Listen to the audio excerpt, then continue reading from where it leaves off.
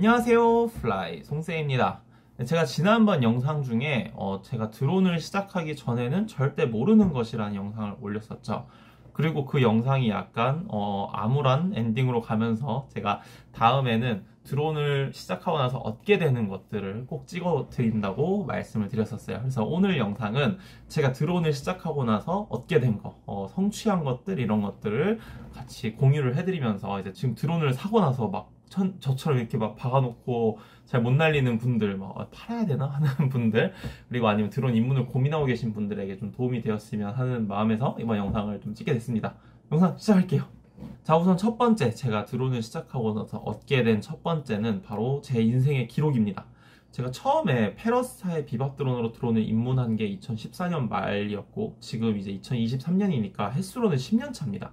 어, 10년 동안 제가 드론을 활용해서 사진과 다양한 사진과 영상들을 찍어왔어요. 그리고 이렇게 찍은 사진과 영상들을 항상 폴더로 정리를 해놓고 있거든요.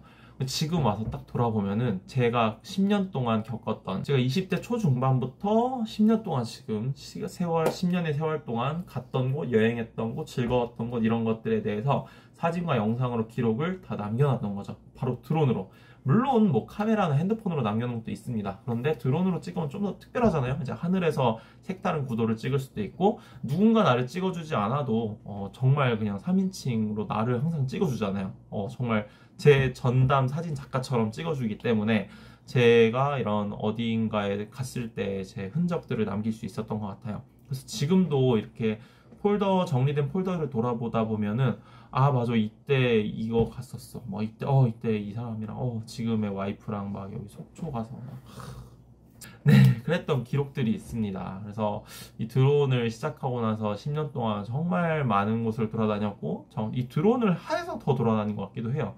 찍으려고 뭔가를 남겨야 되니까 돌아다녔거든요. 그래서 그런 기록들을 얻게 되었던 게 이제 첫 번째 제가 얻은 것들이고요. 자, 두 번째, 두 번째는 공모전 수상입니다. 사실 제가 드론을 시작하기 전에 편집을 아예 할 줄을 몰랐어요. 사진도 포토샵 이런 거 1도 못 만졌고 영상은 진짜 어 그냥 영상은 전혀 나의 영역이 아니야였거든요.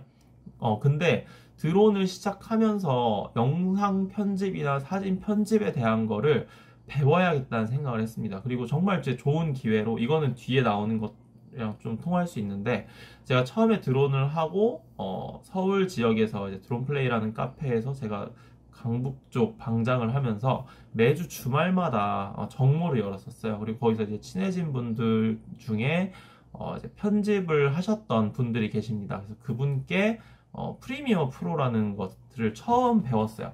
프리미어를 배웠는데 너무 어렵잖아요. 너무 어려우니까 그냥 한 시간 약간 정말 알짜배기로 C랑 V만 알면 돼요 하면서 이렇게 배웠어요. 근데 그때 배운 게 지금까지 왔습니다. 그때 기초를 배워놓고 나니까 제가 찍은 영상들을 편집하는 게 너무 재밌더라고요. 제가 영상을 찍어서 편집해서 주변 사람들에게 보여주고 아니면은 주변 친구들이랑 어, 펜션을 간다든지 여행을 갔을 때 제가 드론으로 촬영을 해주고 이걸 편집해서 보여주면 친구들도 좋아하고 또 이런 것들의 재미를 들면서 영상 편집을 좀 시작했던 것 같아요. 물론 처음부터 Premiere를 한 건 아니고 다시 다시 생각해 보니까 처음에는 Movie Maker였어요. Windows Movie Maker로 제가 심지어 그걸로 이제 공모전 수상도 했습니다. 그래서 편집 기기가 중요한 건 아닌 것 같고 편집을 하면서 어떤 기기를 가지고 하는 건 중요치 않고 어떻게 찍어서 내가 원하는 머릿속에 있는 담고 싶은 그런 생각이나 느낌을 영상 속에 담아내는 게 중요한 것 같아요. 좀, 좀 갑자기 말이 좀 샜는데, 어쨌든 제가 공모전을 많이는 응모하지 않습니다. 그냥 가끔 가다가 이제 눈에 띄는 거 있으면 응모를 하는데, 뭐 지금까지 상 받은 건 총 4개예요. 참가상 가작 이런 거는 빼면은 4개의 상을 받았습니다. 보통 이제 공모전 사진이나 영상 공모전 하면은 전문가들도 많이 들어오고 업체들도 이제 많이 출품을 하거든요. 특히 요즘 같은 경우는 더 치열해져 가지고 그런데 그 중에서 이제 경쟁을 뚫고 총 4개의 상을 받았습니다. 어, 그래서 이제 상 받을 때 굉장히 뿌듯해요. 저는 본업이 이쪽도 아니고 정말 100% 취미인 사람인데 이렇게 어, 제가 만든 작품들이 인정을 받을 수 있다는 게 어, 너무 행복했던 그런 기억인 것 같아서 드론을 구입하시는 분들 또 이런 것들 좋은 기회도 많으니까 한번 참여를 해보시면 좋을 것 같아요. 자 이제 세 번째입니다. 세 번째는 전문성이에요. 네, 어, 제 유튜브 채널이 Fly 송쌤이잖아요. 제 직업이 이제 초등교사고 어느 정도 본업이 교사다 보니까 사실 전문성은 교육에 있습니다. 근데 어, 제가 전문성을 얻었다는 게 무슨 말이냐면은 제가 처음 드론을 사고 유튜브를 개설한 이유는 그냥 뭐 기록 저장소였어요. 거의 기록 저장소였고 제가 찍은 거를 그냥 올려놓는 약간 드라이브 같은 개념으로 썼었어요. 드론에 푹 빠지고 하다 보니까 이거를 좀 설명을 해주고 싶은 거예요. 왜냐면은 제가 드론을 했을 때는 이거를 설명해주는 그런 사람들이 없었거든요. 거의 없었어요. 다들 잘 저랑 비슷한 다 초보였고 다 초보였어요. 저도 초보였고 근데 같은 초보 입장에서 제가 초보였을 때 어, 누구 하나 알려주는 사람이 없었으니까. 그때는 그냥 매뉴얼도 뭐 영어 매뉴얼 있으면 제가 그냥 번역을 해서 알려드린 정도였고 쓰다 보니까 뭐 꿀팁 있으면 제가 그 꿀팁들을 공유해드렸고 이렇게 해서 채널을 운영을 했는데 근데 어느 순간부터 많은 분들이 제 채널을 봐주시고 제가 블로그도 운영을 했었는데 제 블로그를 통해서 그리고 카페를 통해서 계속해서 정보를 얻으시고 저도 그 정보들을 교류하면서 계속 저도 이제 교류를 해야 되잖아요. 그거 저도 더 공부를 해야 되고 더 연구를 해야 되고 하다 보니까 어느 정도 이제 전문성이라는 게 생겼어요. 그래서 이런 전문성들을 갖게 되었고 또 지금 이제 구독자분이 만 명이 넘었잖아요. 뭐 제가 알기로 드론 드론만 하는 유튜버 중에 만 명이 넘는 사람이 거의 없는 걸로 알고 있거든요. 그래서 뭐 이런 전문성들도 갖게 되었죠. 아, 그리고 또 이런 전문성들을 바탕으로 이제 학교 현장에서 또 아이들을 데리고 어떻게 드론을 가지고 수업을 할 수 있을지 드론을 가지고 수업 자료를 만들기도 하고요. 저는 지금도 실제로 이제 교육청에서 다양한 교재나 학생 도움 자료 이런 것들을 다 드론으로 촬영을 해서 제작을 하고 있고 또 강의도 많이 나가는 편이에요. 강의도 학교나 학생 대상으로도 강의를 나가고 교육청 대상으로도 나가고요. 또 재작년에는 이제 한양대에서도 한번 특강을 했었어요. 아 이건 정말 감사한 일인데 제가 이렇게 전문성을 갖고 드론을 시작하면서 전문성을 갖고 제가 가진 것들을 이렇게 좀 풀어내고 저도 좀 성장할 수 있는 그런 계기가 되었던 게 아닐까 어, 생각을 합니다. 자 그리고 마지막 네 번째인데 마지막 네 번째도 사실 제 직업이랑 좀 관련이 있습니다. 제가 직업이 교사다 보니까 보통 교사들은 이제 교대에 나오고 교사가 돼요. 초등이니까. 그러면은 교대 대학생 때 친구들이 다 선생님입니다. 그 외에 직업이 없어요.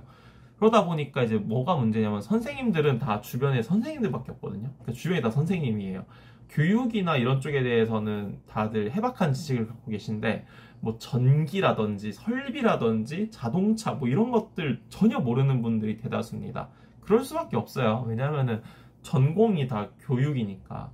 근데 제가 드론을 하게 되면서 만났던 수많은 분들 그리고 이제 알고 지내게 된 분들 중에는 정말 다양한 직업을 갖고 계시고 정말 다양한 분야에서 이제 일하고 어, 활동하는 분들이셨거든요. 그래서 제가 도움이 필요할 때 제가 잘 모르는 게 있으면은 그때그때 물어보면 너무 친절하게 잘 알려주셨어요. 그래서 지금도 너무 감사한 거는 제가 드론 시작하고 나서 이런 어떻게 보면 인맥이죠. 사람을 얻은 게 저는 가장 큰 재산이라고 생각을 해요. 제가 잘 몰랐, 몰랐던 것들, 어디 가서 물어볼 수 없는 것들, 이런 것들을 드론이라는 취미를 통해서 이 취미를 공유하면서 어, 만나게 된 사람들이랑 서로 도움을 주고받으면서 이렇게 교류를 할 수 있었고 앞으로도 이런 뭐 소중한 인연들을 쭉 이어나가야겠죠. 이 영상을 보는 드론을 입문하기 전 또는 입문하고 나서 이제 방치만 하고 계시는 그런 분들께도 이 영상을 보시고 아 나도 이제 드론을 가지고 이렇게 해서 어, 좀 더 좋은 나한테 좀 나의 성장과 이런 거에 도움이 되는 쪽으로 이 드론이라는 취미를 어, 활용을 하셨으면 좋겠습니다. 네 오늘 영상 여기까지입니다. 앞으로도 제 채널 많이 사랑해 주시고요. 구독과 좋아요는 사랑입니다. 시청해주셔서 감사합니다. 안녕.